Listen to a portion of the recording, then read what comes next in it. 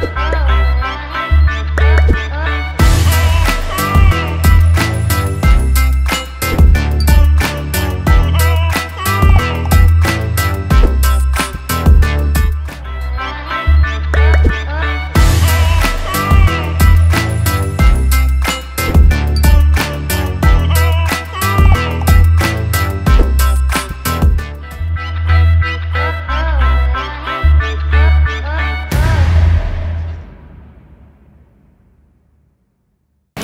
Goedendag kijkers, ik ben Maisha Neus en dit is een nieuwe uitzending van Glory TV. Vandaag gaan we in gesprek met niemand minder dan de welbekende, zeer gerespecteerde en geliefde mevrouw Van Dijk Silos.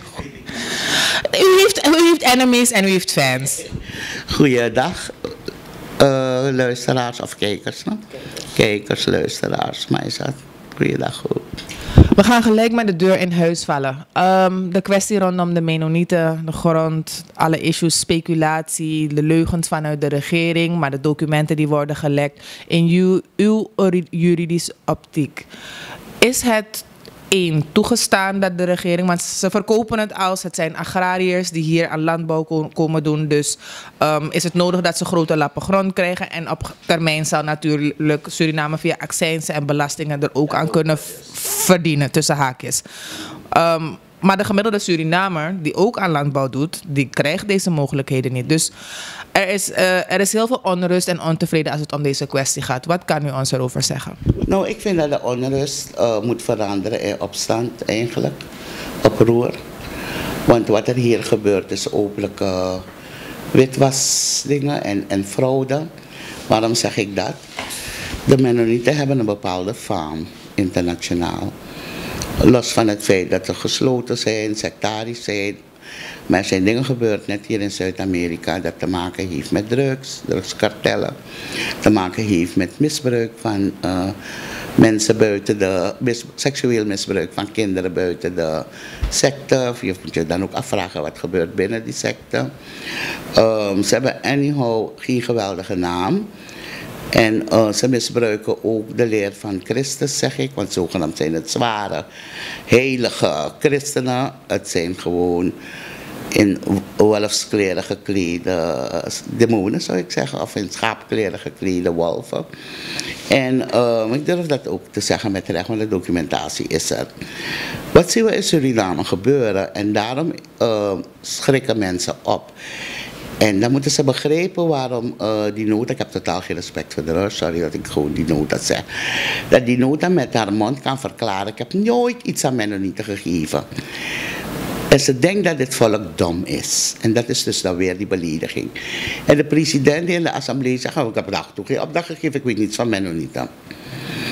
Dat is de facto, als je niet doorprikt en kijkt, dan ook waar. Want niets is op naam van Mennonieten. Luister ik dan naar meneer Ruud Suverein, die moeilijk kan jokken. En die verraadt alles. Dan zie je de modus operandi. En de modus operandi heeft mij geprikt om wat ervan te zeggen in een interview. Omdat ik als uh, NRA, NRA 1 onderzoeker, want nu is er NRA 2 gaande, NRA 1 onderzoeker, leer je ook te kijken naar modus operandi om te ontdekken waar die risico's zijn, waar die dreigingen zijn voor money laundering en stichtingen. Ja, stichtingen, noem maar op. En de Raad 2 houdt zich vooral bezig met die stichtingen. En um, ik zie dan een modus operandi en men kan me niet zeggen dat ik uh, spoken zie. Ik ga die casus gewoon heel simpel uitleggen dat iedereen me kan volgen. Er worden grote lappen grond gegeven met opzet zodanig dat men niet naar DNA hoeft te gaan voor toestemming. Dus wat dat betreft hebben ze de loophole van de wet ge gebruiken. Ze laat dat. Maar waar het om gaat, waarom een zwaardere toets moet genieten, is omdat het om de regering gaat. Het gaat om gronden van het volk van Suriname, van de staat Suriname. Grote lappen grond worden gegeven aan een stuk of vijf, zes stichtingen, vier stichtingen zijn naar buiten gelekt, maar er is ook een NV. En er zijn nog twee stichtingen verbonden aan die NV. En een van die stichtingen zit die vertegenwoordiger van de Mennonieten. Ik zoek dat ook uit. En dan zien we dus, laten we bij die gelekte documenten blijven. Vier stichtingen met dezelfde voorzitter. Dezelfde naam van de voorzitter. En natuurlijk is het niet verbazingwekkend als hij dezelfde soort naam heeft als de president. En uh, ik let wel, ik zeg soortnaam hoor, die persoon die geen cent op je percent. Of hoe je die, hoe je die man?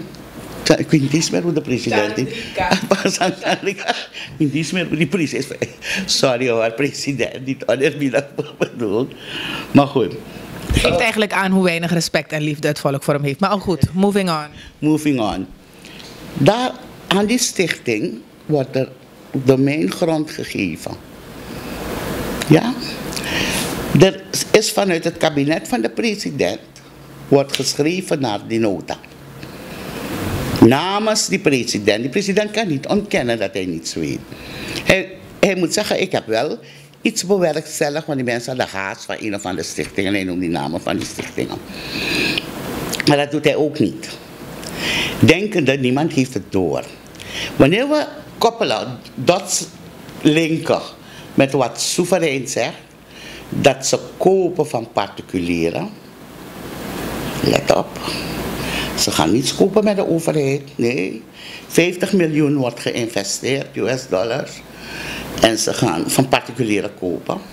En we zien de president heel ongebruikelijk, geheel beyond de procedures van grondaanvragen, bemoeien met nou deze aanvragen.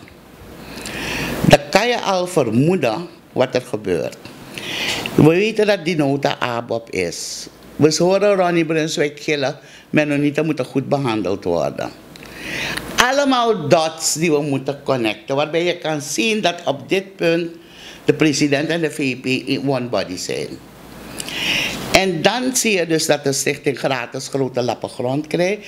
Je ziet ook LVV in dingen komen, in beeld komen. En ongeveer dezelfde lappen grond voor landbouw gaat, wil gebruiken. En van wie gaan de Mennonieten kopen? Van die stichtingen. Ja. Die stichtingen hebben het gratis gehad. En ze gaan van die stichtingen kopen. Een private rechtspersoon. Ongeveer, laten we zeggen, 25 miljoen voor die grond. Dat ze moeten ook een infra maken. 25, ik schat gewoon even, ik noem gewoon de helft. 25 miljoen gaat naar die grond. Gaat naar die stichting voor de grond. Waar gaat die 25 miljoen naartoe? Niet in staatskas. Nee. Je kan het al raden, bribery links, rechts, weet ik veel. En, en, en, de, en de stroomman uh, krijgt een groot deel, die zijn rek heeft uitgestoken. Dan is de bron van inkomsten, nu kom ik waarop ik ben gevallen, waarover ik echt ben gevallen. Dan is de bron van inkomsten volgens Ruud Soeverein nogmaals 50 miljoen. Waar halen ze het vandaan? Terwijl internationaal, zeker in Zuid-Amerika, bekend is dat ze verbonden zijn met drugskartels, vooral van Mexico. Ik heb het ook gelezen. Ja. Dat betekent dat de bron, je kan vermoeden, of het is een, aan een zekerheid grenzende waarschijnlijkheid, dat de bron van dat geld zwart is. Drugsgeldenbron. En dat die worden wit gewassen door de Mennonieten via ons land. Dat is wat we doen. De staat Suriname doet dus aan money laundering. Suriname is toch een witwasparadijs? Zo weggeven. En, en dat geld wat, wat ze aan die stichtingen gaan betalen, gaat ook niet in staatskas komen. De stichting is een private rechtspersoon. Dat is de reden waarvoor, waarom ik uh, me echt erin ben gaan verdiepen. Ik ben een beetje geremd geworden omdat ik begreep dat een andere collega ermee bezig is. En ik wil die niet dubbel crossen of zo, of ik moet bellen. Maar of ik voel, het stenen stappen. Ja, ik begreep je. Dus ik heb zoiets van oké. maar uh, misschien dat ik toch nog bel van oké, hoe zie jij het? Laten we kijken, laten we sparren. Je mag de case doen, maar het moet dan wel goed zijn. Want er zitten haken en ogen aan deze case. Zou die collega van u uh, een rechtszaak aanspannen? Of dat eigenlijk... gehoord. Een rechtszaak aanspannen. Maar er zijn wat juridische haken en ogen. Je hebt te veel veronderstellingen en te weinig harde, hard bewijs. Dus, en ik zeg, je moet niet een zaak beginnen waarbij je gaat verliezen en de regering triomfeert. Ziet u wel, het is niet waar. En dan gaat men misschien schelden op die rechterlijke macht, maar ik ga nu niet beginnen met een case waarvan ik zeg, civiel heb ik nog te weinig bewijs. Maar volgens de anticorruptiewet kan je wel uh, met vermoedens aangifte doen en vragen voor een onderzoek bij die commissie. Dus dat zit ik nu te bekijken. Maar een vraagje, want de anticorruptiewet is toen aangenomen onder uh, voormalig president Bouterse. Maar er was geen inhoud gegeven aan alles. Aan, is inmiddels wel? wel? Ik dacht vorig jaar ingevuld. Oké, dus dat zou in ieder geval dan wel een basis kunnen zijn om mogelijke rechtsstappen te. Ja. Oké, maar ik vind het wel goed dat u. Met die wet money laundering, dat ben ik ook aan het bekijken. Van uh, is het mogelijk dat je via die wet toch nog een pure strafklacht kan hebben. Gebaseerd op die wet. Maar dan moet je ook weer aantonen dat dat geld inderdaad van drugskartel komt. Maar dat, dat wilde ik dus, maar dat wilde ik u eigenlijk vragen. Dus de staat Suriname heeft, net als hoe je bijvoorbeeld als je naar Amerika of naar Europa gaat en je hebt bijvoorbeeld, je wil investeren of noem maar op, moet je altijd uh, bewijs van herkomst van je financiële middelen geven. Dat heeft Suriname dus niet. Want we horen 50 miljoen en we gaan gelijk in zee zonder te vragen waar komt dat geld van. Uh, die 78 supermiljardairs van Agijbert zien in 2020. Ik bedoel, iedereen wist dat het om grote drugsbazen van Europa ging. Ja. En toen kwam plotseling HPGS of hoe ze heten. En toen kwam Surfin, die zijn door de mand gevallen. Dat was een van die miljardairs. En dan komt Surfin met een money laundering constructie. Ik weet niet wat er met deze regering aan de hand is. Ja, ik heb toen de tijd de minister um, en Agaiber Singh en uh, Maramdin ook erover gesproken en gevraagd. Van doen jullie je due diligence niet? Want ik, een simpel mediapersoontje, ik heb nog niet eens een journalistieke opleiding afgenoten. Ga op internet, zoek de namen, zie dat dat ding vorige week is opgericht. En dan stel jij geen vragen als overheid? I'm so confused. Dus nee, of, of zien jullie bedragen en dan denken jullie van ja, het is gelijk. Maar ik denk dat we te maken hebben. Kijk, die mensen, zie Ramdin van Bibis heeft te veel hersenen. Om het niet in te zien, sorry. Hij is geen domme man. Is geen domme man.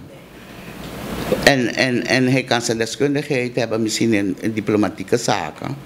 Maar ik heb niet het gevoel dat hij deskundig is op het gebied van dit soort dingen. Maar omdat je niet dom bent en omdat je internationale ervaring hebt, weet je ook wat er te koop is. Ja, dus dan kan je ergens een. Je, kan, je moet gewoon je common sense gebruiken. Ja, je kan niet zo gullible zijn. En eigenlijk als je het zo zegt, dan zou je ook bijna kunnen zeggen van...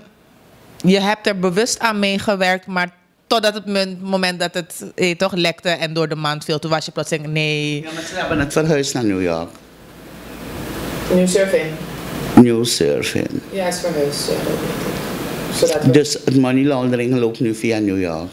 Het zou me niet verbazen als de Surinaamse ambassade daarvoor gebruikt wordt. Maar ik heb een vraag, though, want Amerika is meestal erop als het gaat om money laundering. Zijn ze niet bang dat gaandeweg iemand daar iets gaat zien en volgen en ze allemaal massaal... dat Amerika ontzettend veel geduld heeft. Ze, ze, ze, ja, ze gebruiken jaren. Ze gebruiken... Ze komen niet op ja, ze geen hard bewijs hebben. En we praten over een overheid die door de staat Suriname, dus ze zijn daar nog voorzichtiger, is opgericht. Maar Mark my words, als New Surfing verbonden is aan die Surinaamse ambassade, wat ik denk, want het zou moeten voldoen aan allerlei compliance regels om apart als uh, foundation of met bedrijfsman. Omdat het een overheidsentiteit is. En bij die ambassade thuis hoort. Zijn ze soepeler? Zijn ze niet soepeler, dan wordt het getolereerd, maar ze volgen het wel. Want Amerika volgt, is echt Big Brother is watching you. Ook hier in Suriname is alles wat we hier zeggen ook zo bekend. Hè, zo. Ze hebben satellieten boven elk land om alles te weten. Dus uh, maak my words dat ze loeren op New Surfing. En om in feite die ambassadeur daar die toelaat persona non grata te verklaren op een gegeven moment. Het zou wel een schande zijn voor Suriname. Ja, maar we hebben al zoveel schandes meegemaakt. Wat kunnen we nog meer hebben? Ja, wat maakt zijn? Azijn is al zuur genoeg, toch? Dus zuurder kan hij niet worden. Oké, een vraagje. Wat weet u over wet op de jaarrekening? Geldt dat ook voor stichtingen? Moet, moeten deze stichtingen, in dit, geval van de Menonieten, moeten ze daar ook jaarverslagen publiceren? De wet op de jaarrekening hoor me ten goede, ik ken het niet in finances. Maar uh, ik zeg onder voorbehoud dat het alleen voor die NV's is, voor de bedrijven. Ja, want ik had dus een discussie, ik had een discussie hier met iemand en die zei dat bijvoorbeeld in Nederland, ik haal dat even aan omdat we veel Surinamers daar hebben en dus ook informatie daar vandaan krijgen, dat stichtingen echt streng gereguleerd zijn. Ze hebben natuurlijk wel. Compliance dingen, Maar hier in Suriname zijn ze losgelaten uh, wild, vee omdat de stichtingen, uh, de beheerder of de toezichthouder op de stichtingen, schrikt niet, is het Openbaar Ministerie, is, het, is de procureur-generaal. En die zijn, hebben gewoon geen tijd voor die stichtingen. Ook al zou je ze vragen om gebruik te maken van bepaalde verantwoordelijkheden, wat ik ook gedaan heb in het verleden, in het kader van mijn advocatenwerk. Dat gebeurt gewoon niets. Maar is het niet eigenlijk ook een beetje dom? om het te reguleren, dat is het. Ja, toch, want ze kunnen toch ook genoeg geld als land daar halen om belasting innen of accijns of weet ik veel. doen ze niet zogenaamd, zijn ze allemaal charity toch? En we weten beide dat dat niet waar is. Zelfs als het gaat om grondkwesties. We hebben toch ons heel parlement was toen met Sabaku in opspraak. Maar ja, met stichting. Omdat de Surinamer, je mag als Surinamer mag je maar één keer aanvragen. Dus al die andere keren dat je grond wil, is het een stichting. Ook, via het kabinet ook. Ja. Stichtingen, tientallen stichtingen. Marwijnen, Brokopondo, in de uitverkoop. Omdat er geen toezicht is op de stichtingen. En het toezicht is helaas in handen van het OM, die op dit moment in handen van de regering is. En uh, dus dan gebeurt er nog minder iets. De FIU, uh, die stichtingen zullen waarschijnlijk ook onder hun moeten vallen nu. Nu is gebleken dus dat het een, een risicogroep, een dreigingsgroep is. Maar ze hebben zij ook niet... Uh, capacity. Ze hebben ook niet voldoende uh, capaciteit om het te doen.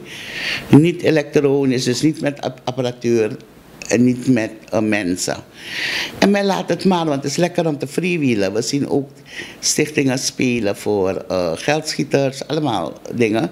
Er wordt grond geroofd door regeringsmensen, door de DNA, via stichtingen. Dus de, staats, de regering van de staat Suriname heeft geen behoefte aan regulering van stichtingen. Want juist omdat stichtingen gebruikt worden als uh, MO, MO, is een handig legale tool MO om wit te wassen, moeten ze heel erg compliant zijn. En moeten ze voldoen aan bepaalde regels.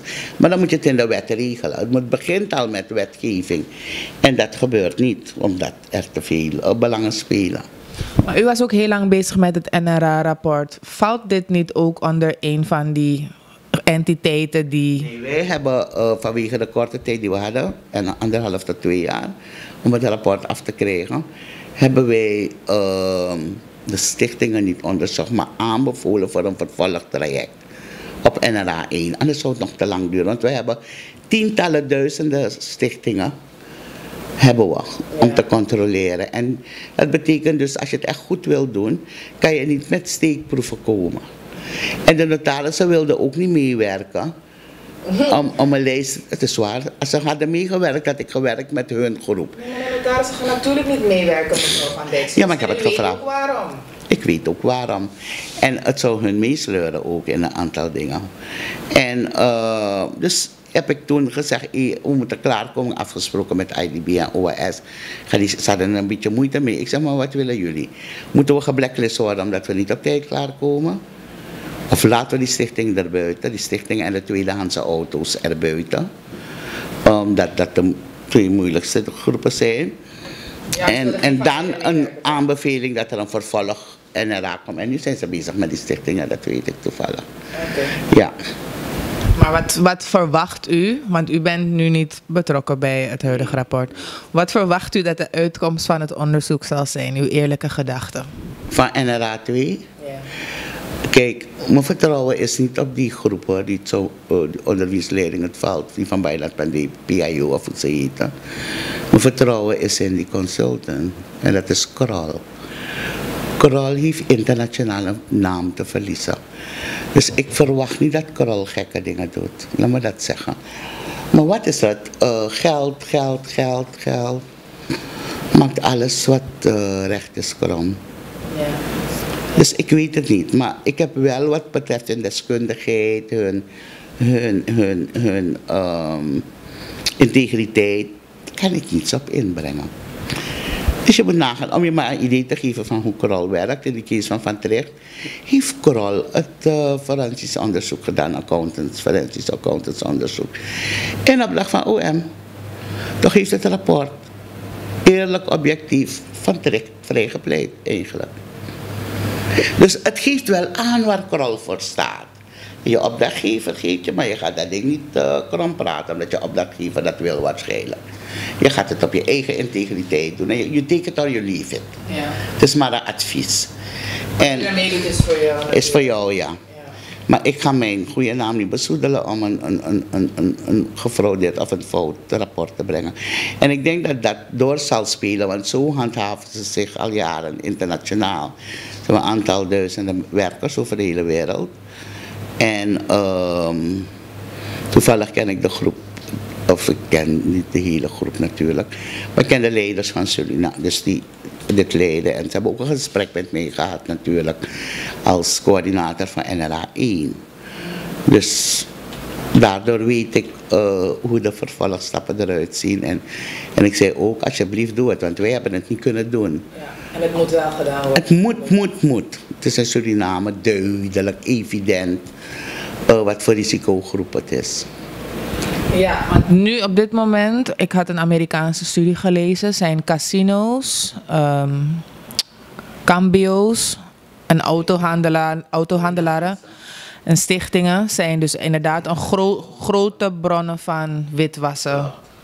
En ik, weet niet of u het nog kan herinneren, maar onder Bouterse was er toen op een gegeven moment uh, een ja, ik weet niet of ik zou zeggen roddel, want er zijn wat documenten gelekt, maar hard bewijs tussen haakjes. Dat er dus mensen waren of personen waren die bewogen van Suriname naar Miami met bijvoorbeeld euro's. Ja, om, om euro swaps. Ja, om US dollars te halen. En ik had dus toen de naam gezien van die uh, cambio of geldwisselkantoor, hoe je het wil noemen, in Miami. En ik was toen onderzoek daarna gaan doen. En die zat zelf ook in een rechtszaak betrokken. beschuldigd van. Ja, beschuldigd van witwassen en noem maar op. En, ik dacht. Is dus Amerika plukt erger kaal dan Nederland, hè? Ja. Letterlijk, zelf je onderbroek gaat in de, wordt geplukt. Ja. Je moet niets meer bezitten, niets, niets, niets. En je komt ook nooit meer aan de bak. Nee. Weet je, dus ik dacht bij mezelf van, hoezo werkt Suriname of de staat Suriname met entiteiten waarvan ze questionable zijn. Want nogmaals, als ik het als simpele burger kan vinden online, ja. kan jij dat ook. Ja, natuurlijk, natuurlijk. Beetje, met een beetje common sense weet je precies te googlen waar je het moet vinden en, en onder welke topic. Precies, dus ik, ik vond het zo'n rare, rare zaak dat ik bij mezelf denk van, wat denkt u want we hebben nu de Mennonieten, grondstichtingen en noem maar op besproken. En er zijn nog desnoods natuurlijk nog heel veel meer wat misgaat in Suriname. En het maakt dat soms burgers uitzichtloos daarnaar kijken van... hé, alles gaat letterlijk mis. De mensen die het zouden moeten handhaven, controleren en, en recht trekken... Die, die, die doen de meest verschrikkelijke dingen. Dus wat is nodig in uw perceptie om het tij in Suriname te keren? Want het lijkt alsof we gewoon continu dieper de afgrond inzakken. Kijk, uh, ik zit niet hier om reclame voor Passie voor Suriname te maken. Maar ik wil uh, ver, verwijzen naar... Um,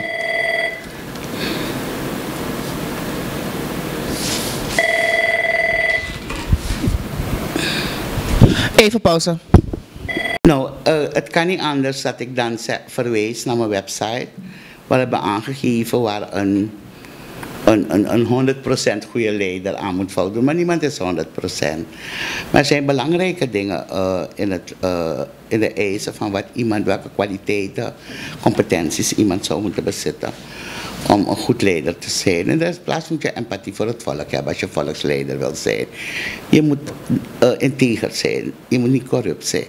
Je moet je betrokken voelen bij dat volk ook. Je moet gericht zijn op natievorming. Je moet gericht zijn op um, uh, uh, een objectiviteit dat overstijgt de familie en vrienden en, en, en neven en nichten en weet ik veel wie allemaal niet. Of partijgenoten. Wanneer je, wanneer de leider bent van dit land, de president van dit land, daar ga ik even van uit. En als je een leider bent van een politieke partij, zul je zeker 60%, 70% van de kenmerken van een goede leider, die we hebben beschreven uh, in het document van passie moeten hebben. Om, die, dat soort leiders kunnen ons eruit halen. uh, leiders die ook intelligent zijn. Hè? Want je hebt ook domme leiders. Ik bedoel, uh, niemand is dom, zegt men, omdat we aardig willen zijn. Maar als je president van dit land moet zijn, moet je wel bepaalde kwaliteiten beschikken. En je moet zeker geen copycat zijn. Uh, mensen napraten en, en, en koeterwals van die theorie maken. Want dat kan je ook ontdekken, hè, bespeuren bij bepaalde leiders van ons. Je ziet zo dat ze boeken taal of iemand napraten. En, iemand schrijft voor ze, want of iemand, ik heb het gevoel dat ze niet eens boeken lezen. Ja, iemand schrijft en ze maken het zich eigen en ze repeteren continu in cirkels. Als je getraind bent om cirkelredeneringen te zien, herken je het bijna binnen twee minuten dat die persoon in cirkels praat. Ze praten veel, maar zeggen weinig. Zeggen weinig en komen steeds op hetzelfde terug en herhalen het steeds in andere woorden. En de meeste mensen zien dat niet. De meeste juristen wel, omdat dat onderdeel van je studie is. Een jurist mag niet in cirkels redeneren, want dan ben je een slechte jurist. En um, dat soort eigenschappen zullen maken dat we uit die ellende komen. En gelet op de crisis van nu, denk ik dat een van de belangrijkste eigenschappen is uh, dat je grote empathisch gevoel moet hebben bij dit land en dit volk. Want dan zal je heel beleid gebaseerd zijn met het oog op de belangen uh, van dat land en de belangen van dat volk. Je moet integer zijn. We hebben een door en door corrupt land. Van de top tot de bottom is corrupt. Het is eigenlijk normaal. Het lijkt alsof we in een achterhoekse land zijn beland. Waar, waar, waar, waar bribery normaal is en bijna culture. Maar ons land kent geen bribery cultuur zoals het nu is. Het is nu wel, ge, naar mijn gevoel, geïnstitutionaliseerd. Genormaliseerd. Genormaliseerd, ja. Niet geïnstitutionaliseerd, genormaliseerd. En dat moet doorbroken worden. Dat kan alleen maar met een puur integere leider.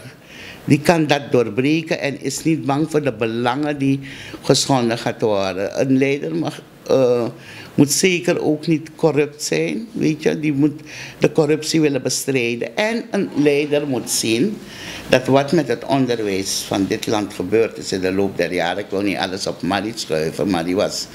Uh, de, druppel die de emmer niet overlopen, want het was alle ellende. En uh, dat onderwijs, onderwijs, corruptiebestrijding drugsbestrijding met name ook. Overheidsfunctionarissen zitten in drugs, Maisa. De onderwereld is een deel geworden van, de, van die maatschappij. En, en drugsmensen uh, doen een run situatie, dus iedereen is bang. Maar ze moeten het, die leider moet niet bang zijn. En voor, voor, voor mij verkopen we die dure dingen voor onze president, de komende president die bereid is om dit alles te doorbreken wat ze hebben in Amerika, toch? Een of ander elektromagnetisch veld, weet ik veel. Gepantserde wagen. Ja, dat soort dingen. Dus alles ketst af. Zoiets voor mij doen we die uitgaven van 10 miljoen of wat het kost. Om die leider te beschermen. Want die leider mag geen moment bevreesd zijn dat hij doodgeschoten wordt. Want dat is dus de methode van de drugswereld. En we hebben het, met wij bedoel ik niet jij en ik, maar bedoel ik de leiders van ons hebben dit zo gemaakt. Door tolerant te zijn naar drugsdealers. Door geld drugs, te nemen ja. hun campagnes. hun geld te nemen. Bepaalde partijen, ik denk niet dat alle partijen dit hebben gedaan. Waarschijnlijk de meeste niet. Maar we mogen het wel stellen dat een aantal partijen die wel invloed hebben op deze samenleving qua kiezersgedrag, om het zo te zeggen, het wel hebben gedaan. Ze uh, geen onderzoek doen van waar dat geld komt, maar nemen. En, en dan zie je plotseling, ja, uh, een Piet Wortel moet gast zijn op de inauguratie van de president en de vicepresident. Gelukkig had je toen nog oude protocol daar die compleet gesteigerd heeft. Van deze man kan niet op de gastenlijst. Eh, waar is de besmet voor de inauguratie van je president? Dat was nog, uh, oud protocol was nog daar. Hè? Dus, maar die zijn inmiddels ook weggewerkt? Ze zijn allemaal weggewerkt, want ze, zijn, ze waren te precies. En, uh, maar uh, dat is dus wat we nodig hebben in 2025. En dat zeg ik hierbij direct. Alhoewel passie in dit jaar zal gaan voor kiezers. Het is een kiesplicht deze keer En geen kiesrecht, maar een kiesplicht. Waarmee pas wil uitdrukken, gelet op de situatie in dit land, is er ieder verplicht. Het volk, het, de macht ligt bij het volk. Als, en dat is waar, dat is democratie. De macht ligt bij het volk. En, en we moeten gaan beseffen dat het in onze macht ligt wie er daar komt. En we hebben nu traditioneel uh, etnische stemmers.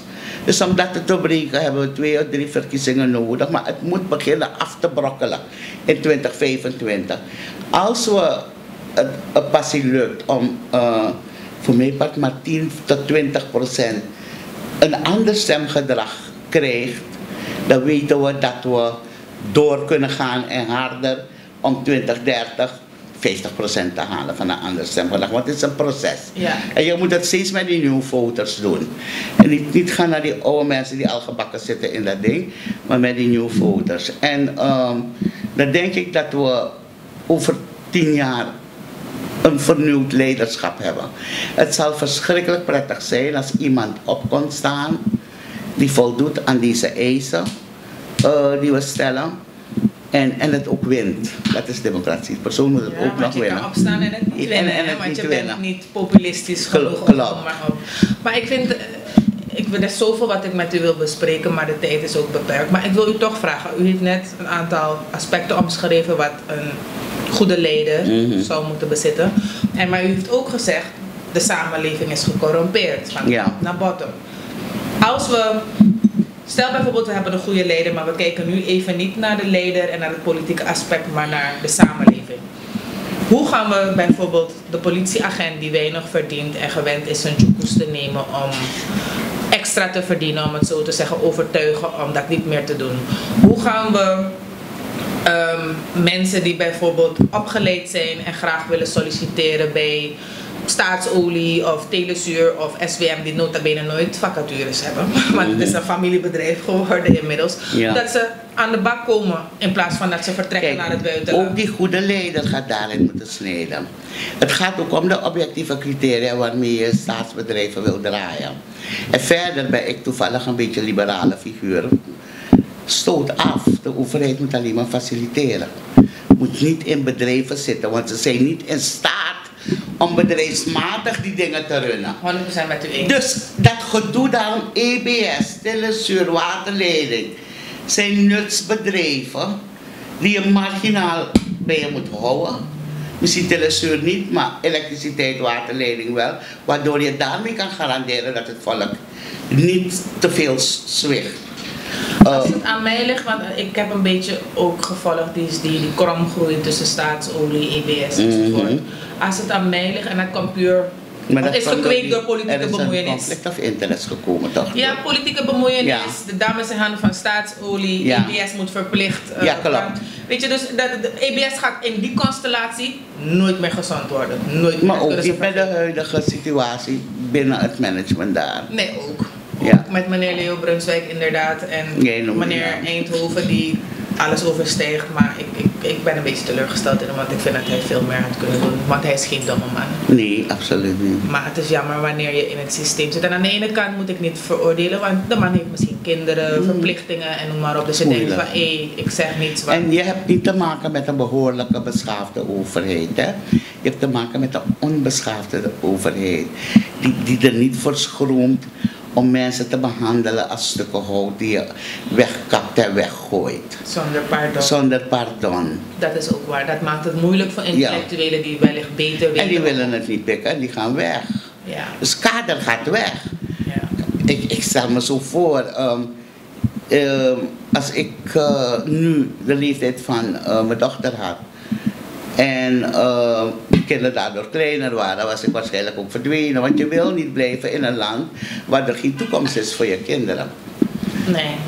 En dat is wat er ook speelt. Dus, en wat er ook moet gebeuren, dat is nummer één voor eh, dat leiderschap. Dat ze moeten inzien dat niet gewoon onderwijs belangrijk is, maar een complete herstructurering vanaf die kleuterklas tot, tot en met de universiteit. Alle, alle fasen van ons onderwijs moet geherstructureerd worden.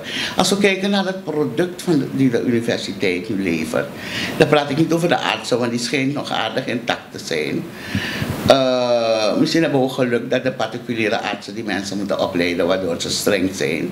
Dat is één geluk, denk ik. Anders hadden we ontzettend veel moordenaars zijn bij de artsen. Die mensen verkeerde tabletten geven. Maar we hebben ook moordenaars bij de artsen. En om in de... Boy, ik heb een nichtje en een neefje. En de verhalen die ze me vertellen en hoe moeilijk het is in, in ook die branche. Want het is een ons kent ons. Als je niet een bepaalde familienaam hebt, kom je niet door. En het is tot de dag van vandaag en er zijn genoeg Surinamers die dit kunnen beamen, die het hebben meegemaakt met een familielid dat is overleden wat niet hoefde te overlijden. Er is nog nooit een arts gearresteerd of uit functie gezet. Er is nog nooit een advocaat of rechter uit, uit ambt of, of Omdat die mensen niet naar het tuchtcollege gaan. Het is een klachtdelict.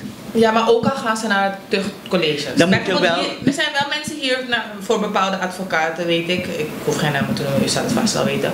Naar het tuchtcollege gaan, maar dan worden ze bijvoorbeeld, of ze krijgen een waarschuwing of een berisping. Of ze worden misschien zes maanden uit hun functie gezet. Maar het is nooit echt vergaand. Omdat die advocaten niet naar de bodemrechter gaan. Men gebruikt die bodemrechter nog te weinig, vind ik. De mogelijkheden die je als burger hebt. Eigenlijk is de bodemrechter het beste, want hoe noem je het, kort gedingprocedure is, je naam is niet kort. Nee, maar die bodemrechter gaat in-depth uitzoeken. En als je uh, de trap van het college hebt gevolgd, mhm. dan heb je in ieder geval die weg gevolgd en de weg geplaveid naar die bodemrechter. Ja. Bijvoorbeeld als iemand bijvoorbeeld aantoonbaar Um, ik moest een koud polletje helpen, hebben en je geeft me een, een, pil met noem iets wat giftig is voor mij. Of, ik weet ik veel, een of andere pil die uh, uh, prednison. Je, je propt me vol met prednison. Ik begin op te zwellen, mijn lever begint niet te werken, weet ik veel wat er gebeurt. Terwijl ik maar paracetamol moest krijgen, een kuur van paracetamol of zo, zeg maar wat zomaar. Is een aantoonbare, grove fout. Ja. Dat kan je bij de bodemrechter maar echt... Het, het probleem wat we hebben, ik begrijp u, we moeten alle wegen gebruiken die de wet ons geeft. Maar als burger kan ik u vertellen dat heel veel van ons het niet doen. Eén, omdat de barrière. Eén, er is geen vertrouwen meer in de rechterlijke macht. Omdat zelfs mensen waarbij je ziet dat ze moesten winnen, hebben verloren. En twee, de barrière voor advocatuur is te hoog, want de kosten zijn hoog. En nee, eerlijk. Ja, je moet advocaat betalen toch? Oh, dat bedoel je? Ja, en niet om wat, maar de meeste... moet advocaat... Oh, je bedoelt de kosten van de justitiabele? Ja. ja. En je kan misschien geluk hebben dat je misschien een advocaat in de familie hebt... die gaat het dan pro deo voor je doen. Maar de gemiddelde doet dat niet. En de kosten zijn best hoog. Die kosten en als je aan het surviven bent, ga je niet... Ga je niet voor bijvoorbeeld, stel bijvoorbeeld je moet 1500 SRD van iets of een instantie krijgen, maar je krijgt het maar niet. Mhm. Je moet die advocaat misschien 8000 betalen. Ga je die 8000 betalen voor die 1500 SRD of laat je het maar? Nee, de advocaten die zulke vorderingen krijgen, althans bij ons kantoor doet dat. Uh, of het is zo'n sociaal geval dat we besluiten. Je hoeft alleen maar die deurwaarderskosten te betalen, onze kantoorkosten. Of we willen het niet doen. En dan zeggen we, we gaan het niet doen. Je gaat meer verliezen. Ja. Je gaat geen winst hebben. Zo eerlijk moet je wel zijn als advocaat. Ja. En, uh, maar meestal zijn dit soort lage bedragen dingen zijn vaak hele ernstige sociale gevallen. Dus waar die persoon echt, uh, echt hulp nodig heeft. Weet je, dus ons kantoor beslist wel niet bij elke case hoor. Wel vaker als je vooral naar die background kijkt van die persoon en je ziet het is. Echt gerechtvaardigde case, dan zeggen we oké, okay, deurwaarderskosten, kantoorkosten. Kijk, dan vind ik dat heel mooi van u dat u een van de weinigen bent die dat nog kan opbrengen.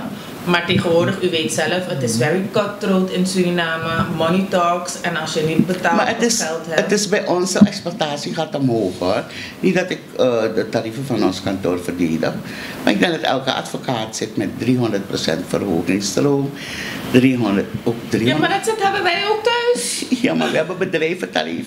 Kijk, oké. Okay, we hebben niet het huistarief hoor. Luister, laat me u zeggen, het is in, want ik, heb, ik ben een burger, maar ik ben ook een ondernemer. Dus ik begreep waarom bepaalde dingen zijn mm. zoals ze zijn. Maar ik begrijp ook de kant van de burger, want ons salaris groeit niet op die manier mee. En wie moet, wie moet zorgen voor die burger weer? Die staat. De staat, ja, maar de staat ja. faalt, want de, de, de staat ons in de steek heeft gelaten. Uh, kosteloze rechtsbijstand, er zijn nog advocaten die doen geloof 500 SRD, nog steeds of 1000 SRD voor de zaak nu. Niemand wil gaan voor die 1000 SRD, dus niemand is meer doet meer kosteloze zaken. Kom nog bij kijken, dat heb ik nog meegemaakt van toen 25 jaar geleden. Dat was het 30 in, in mijn tijd. 30, 30, 30 gulden. 30 SRD of 30 SF, zou bij SF zijn geweest. ja. Ik werd ook niet betaald. Ik heb nooit gedeclareerd, want ik moet drie jaar wachten. Dus, Ook dat. Is net als bij dus ik, ik heb het twee jaar gedaan. mevrouw Van Dijk. Ik heb heel veel vis en groenten gegeten van mijn, mijn cliënten. Ik was heel blij ermee hoor.